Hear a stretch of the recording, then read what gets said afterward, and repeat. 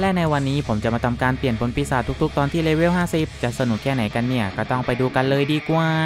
และก็เปิดคลิปมาในตอนนี้มันก็ถึงเวลาที่ผมเนี่ยจะต้องทำการเดินทางไปเปลี่ยนผลปีศาจแล้วนะทุกคน เดี๋ยวไปดูกันเลยว่าในวันนี้เนี่ย ผมจะได้ผลดี หรือว่าจะไม่ได้ผลดี จะเกลือแค่ไหนเนี่ย ก็ต้องไปดูกันเลย สวัสดีครับคนสุ่มผลวันนี้เนี่ยผมขอผลปีศาจที่มันดีๆหน่อยได้หรือเปล่า แต่ก่อนที่ผมเนี่ยจะทำการสุ่มผลปีศาจนั่นเอง ผมก็ได้ทำการเจอสูตรสูตรหนึ่งที่เขาบอกว่าใช้ skill ผลหนึ่ง skill และผมก็ไม่รอช้าเลยละกันทำการใช้สกิล C เนี่ย อัดหน้าคนสุ่มไปเลย นี่แน่ และก็ข้อที่ 2ทำการกระโดด 3 ครั้ง และผมก็ไม่รอช้าเลยละกันทำการกระโดด 3 ครั้ง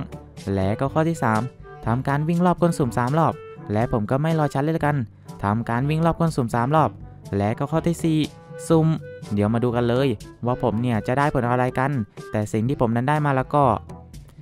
เฮ้ย เดี๋ยวก่อนนะ เอามาทำไมวะเนี่ย ผมดันได้ผลบาร์กี้เหมือนเดิมเฉย สงสัยวันนี้ ผมน่าจะเกลือน่าดู ในตอนนี้เนี่ยผมก็ได้การน้อยใจกับโชคชะตาว่าทำไมผมเนี่ยได้แต่ผลบาร์กี้ อะไรอะไรก็ได้แต่ผลบาร์กี้ ผมเลยรู้สึกแย่นิดนึง และผมก็ไม่รอช้าเลยละกันทำการเอาผลบาร์กี้เนี่ยทำการมอบให้กับเจ้าทะเลไปเลย ให้อาหารเจ้าทะเลไปเลยละกัน อะไรอะไรก็ได้แต่ผลบาร์กี้โคตรแย่เลย ถึงผลบาร์กี้นะทุกคนมันจะสามารถป้องกันดาบได้ แต่ว่าผลบาร์กี้เนี่ยมันไม่สามารถป้องกัน damage ความน่ารักจากเธอได้ เออ เดี๋ยวเดี๋ยวเดี๋ยว มันเกี่ยวอะไรกันครับเนี่ยและก็ในตอนนี้ผมก็ไม่รอช้าเลยละกันทำการใช้ผลบาร์กี้เนี่ยทำการต่อสู้กับเจ้าพวกนักดาบบนเกาะน้ำแข็งพวกนี้นะทุกคน มาเลยเจ้าพวกนักดาบบนเกาะน้ำแข็ง พวกแกเนี่ยจะสามารถชนะผลบาร์กี้ผมได้หรือเปล่า และผมเนี่ย ก็ทำการต่อสู้แบบนี้ไปเรื่อยๆ และผมก็สามารถชนะเจ้าพวกนักดาบบนเกาะน้ำแข็งพวกนี้เนี่ย ได้แบบชิวๆเลยก็ว่าได้ หลังจากที่ผมเนี่ยทำการใช้เวลาทำการฟาร์มแบบนี้ไปสักพักหนึ่งจนในที่สุดในตอนนี้ผมก็เลเวล 1361 เป็นที่เรียบร้อยแล้ว ผลบาร์กี้เนี่ยมันก็พอฟาร์มได้อยู่ แต่เดี๋ยวก่อน และก็ทันใดนั้นเนี่ย ผมก็ได้ทำการเจอกับล้อรถของใครก็ไม่รู้นะทุกคน เฮ้ยเดี๋ยวเดี๋ยว นั่นมันไม่ใช่ล้อรถ นั่นมันผลโมจิตื่น จะบ้าหรือไงเนี่ย แต่ก่อนที่ผมเนี่ยจะทำการไปฟาร์มต่อ ผมก็ไม่รอช้าเลยกันทำการอัพค่าพลังก่อนเลยละกัน ทีแรกผมว่าผมจะอัพผลปีศาจ แต่ดูเหมือนว่าพลังผลปีศาจผมในตอนนี้เนี่ย มันจะตันเป็นที่เรียบร้อยแล้ว เฮ้ย ตันตอนไหนวะเนี่ย และผมก็ไม่รอช้าเลยกัน ทำการอัพเลือดรัวๆไปเลยละกัน อัพเลือดรัวๆไปเลย ระหว่างที่ผมเนี่ยกำลังทำการเก็บหีบสมบัติเล่นๆและก็ตอนนั้นนั่นเอง ผมก็ดันได้ที่เสกหนวดดำมาเฉยทุกคน เอ้าเดี๋ยวก่อนนะ ได้ที่เสกหนวดดำเฉยวะทุกคน เฮ้ย โคตรดี ที่เสกหนวดดำเนี่ย ผมก็อยากได้ แต่มีสิ่งหนึ่งที่ผมอยากได้มากกว่าที่เสกหนวดดำนั่นก็คือ อยากได้หัวใจเธอยังไงล่ะเฮ้ยเดี๋ยวก่อนนะ ยังมีเวลามาเล่นมุกอีก ผมก็ไม่รอช้าเลยละกันทำการเสกหนวดดำออกมาเลยมาเลยเจ้าหนวดดำและผมก็ไม่รอช้าเลยละกันทำการใช้ผลบาร์กี้เนี่ยทำการเข้าไปต่อสู้กับเจ้าหนวดดำเลย มาเลยเจ้าหนวดดำแต่ก็ดูเหมือนว่าเจ้าหนวดดำเนี่ยมันก็โหดใช้ได้อยู่เหมือนกันทุกคน พลังเจ้าหนวดดำเนี่ย มันก็โคตรจะโหดเลยก็ว่าได้ โอ้โห พลังแกมันก็โหดเกินเจ้าหนวดดำและผมก็ได้ทำการต่อสู้แบบนี้ไปเรื่อยๆ และมันก็เป็นอย่างที่ผมคิดไว้ไม่มีผิดนะทุกคน ผมก็แพ้หนวดดำโอ้โห พลังก็โหดใช้ได้เกิน ถึงเธอเนี่ยจะไม่ใช่หนวดดำแต่ว่าเธอเนี่ยทำไมถึงชอบใจดำกับผมจัง เฮ้ย พูดมาแล้วมันก็เศร้าเหมือนเดิม แต่ก็นะทุกคนทำไมมันไม่มีใครเนี่ยทำการมาตีหนวดดำช่วยผมเลยก็ว่าได้ ผมก็ได้ทำการตีหนวดดำคนเดียวเนี่ยไปเรื่อยๆ เลยละกันนะทุกคน ตีแล้วก็ตีอีก ตีแล้วก็ตีอีก ตีแล้วก็ตีอีก ก็ไม่มีใครเนี่ยมาตีหนวดดำช่วยผมเลยก็ว่าได้ เดี๋ยวก่อนนะ คนมันไปไหนหมดวะเนี่ย มาช่วยผมตีหนวดดำทีเถอะ และก็ในที่สุดในตอนนี้ก็มีชายแปลกหน้าคนหนึ่งที่มาพร้อมกับผลป้าตื่นมาช่วยผมตีหนวดดำนะทุกคนโอ้โห กว่าจะมาได้ เล่นเอาซะผมตายไป 10 กว่ารอบเลยก็ว่าได้ มาเลยเจ้าหนวดดำเจอผลพาตื่น และก็เจอผลบาร์กี้ผมหน่อย และผมเนี่ยก็ทำการต่อสู้แบบนี้ไปเรื่อยๆ สู้และก็สู้อีก สู้และก็สู้อีก สู้และก็สู้อีก มาเลยเจ้าหนวดดำ และก็ในตอนนี้เนี่ยดูเหมือนว่าเจ้าหนวดดำเนี่ยมันก็บาดเจ็บหนักพอสมควร และก็ในที่สุดในตอนนี้เจ้าหนวดดำเนี่ยมันก็ได้ทำการตายเป็นที่เรียบร้อยแล้วแต่ก็ดูเหมือนว่าผมเนี่ยจะไม่ได้ผ้าคลุมหนวดดำทุกคนโอ้โห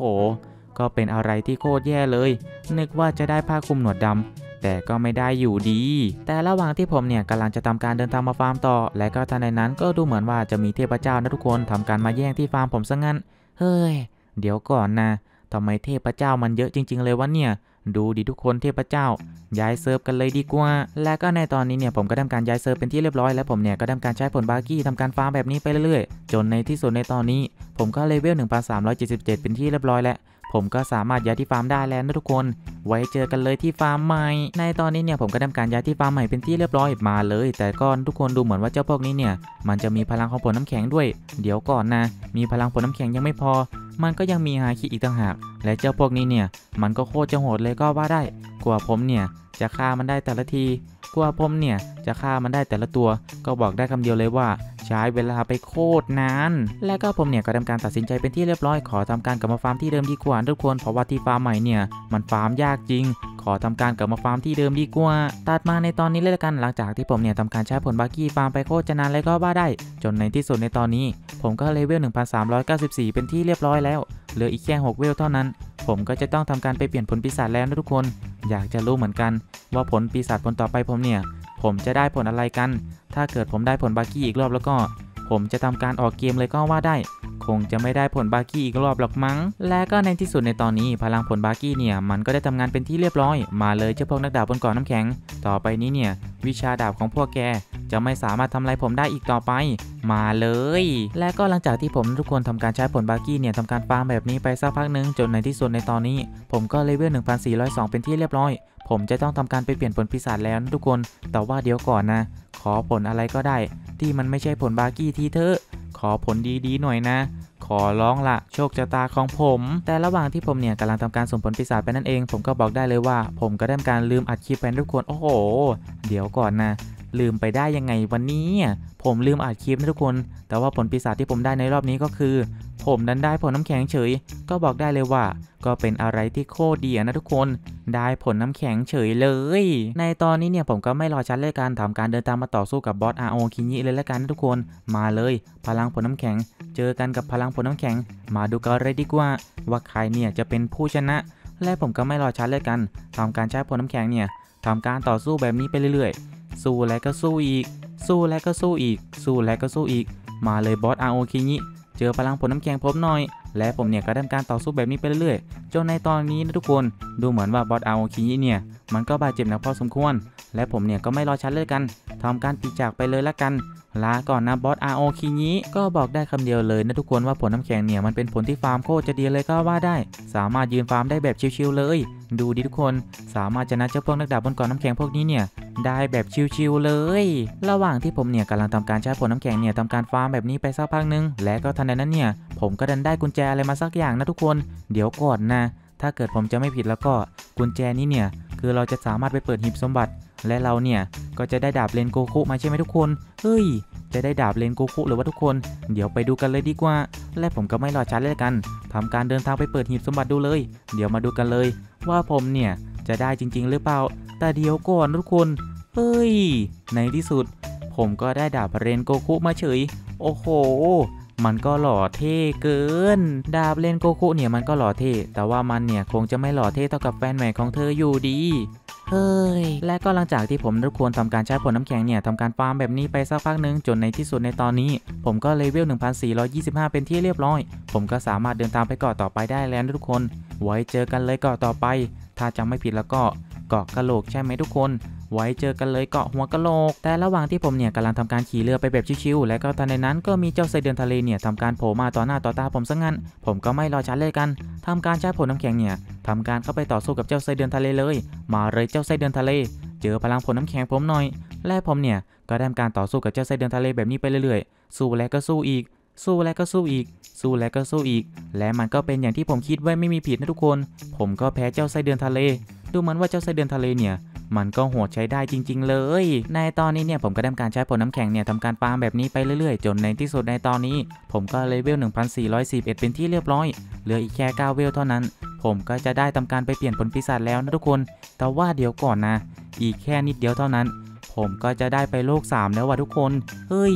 จะได้ไปโลก 3 แล้วนะทุกคน โลก3อะผมก็อยากไป แต่ว่ามีสิ่งหนึ่งที่ผมอยากจะไปมากกว่า อยากเข้าไปอยู่ในใจของเธอมากกว่า เฮ้ยเดี๋ยวก่อนนะมันคนละเรื่องกันนั้นเนี่ย และก็หลังจากที่ผมได้ควรทำการใช้ผลน้ำแข็งเนี่ยทำการฟาร์มแบบนี้ไปเรื่อยๆ จนในที่สุดในตอนนี้ ผมก็เลเวล 1419เป็นที่เรียบร้อย เหลืออีกแค่เวลเดียวเท่านั้น ผมก็จะได้ทำการไปเปลี่ยนผลปีศาจแล้วนะทุกคน จะได้ทำการบอกลาผลน้ำแข็งแล้ว และก็ในที่สุดในตอนนี้เลยละกัน ผมก็เลเวล1451 เป็นที่เรียบร้อย ผมจะต้องทำการไปเปลี่ยนผลปีศาจแล้วนะทุกคน ลาก่อนนะผลน้ำแข็ง บอกได้เลยว่าฟาร์มโคตรดี โคตรชอบเลยทุกคนผลน้ำแข็งเนี่ย แต่ต้องลากันแล้วนะทุกคน ลาก่อนนะผลน้ำแข็ง งั้นสำหรับวันนี้ผมก็ต้องขอตัวลาไปก่อนสำหรับใครที่ชอบคลิปนี้ก็อย่าลืมกดไลค์และกด Subscribe เพื่อเป็นกำลังใจให้ผมทำคลิปต่อๆไปด้วยนะครับ รักคนดูทุกคนนะครับบ๊ายบายผมจุ๊บๆไปละ ไปละ